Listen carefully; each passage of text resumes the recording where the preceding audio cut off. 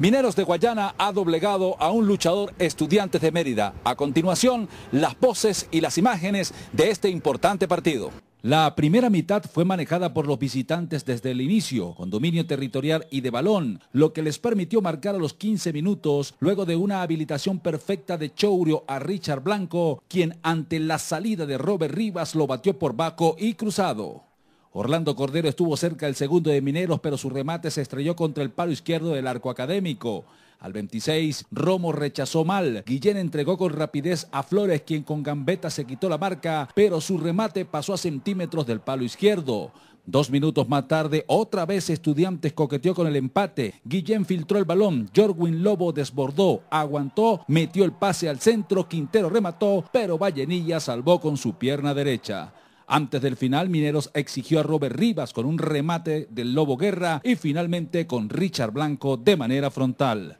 En el complemento, Estudiantes se mostró más agresivo y logró por pasajes manejar la pelota para generar mayor volumen de juego ofensivo. Sin embargo, Mineros fue el equipo que dispuso de las más claras y mejores opciones, pero la puntería falló en el momento definitivo. Al minuto 83 de partido, Guillén perdió un balón en ataque que tomó a los de casa mal parados en el fondo, situación que Edinson Castillo, que había llegado al partido minutos atrás, aprovechó para marcar el 2 a 0 definitivo.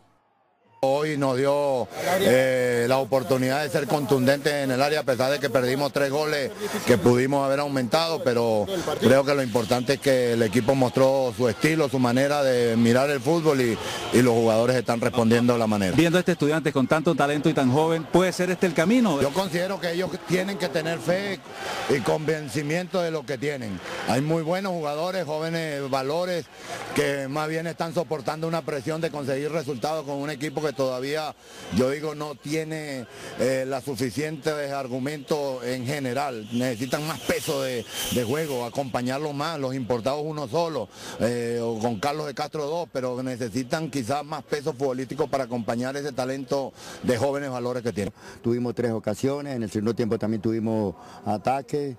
Y nosotros, pues, en cuatro días tampoco es mucho lo que se puede hacer, pero queremos que los jugadores vayan captando la idea de que nosotros podamos hacer un fútbol más, bonito, dejar esos pelotazos que estudiantes estaban jugando.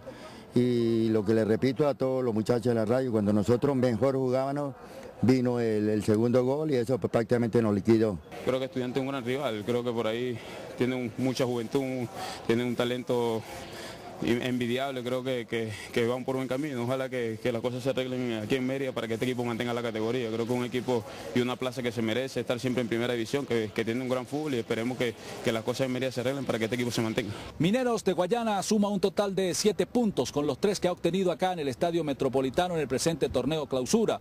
Por su parte, Estudiantes de Mérida sufre un nuevo revés jugando en condición de local, tal cual le sucedió en la primera jornada frente al equipo del Aragua. En la cámara de Jesús Leonardo Mendoza les reportó Jesús Mendoza López.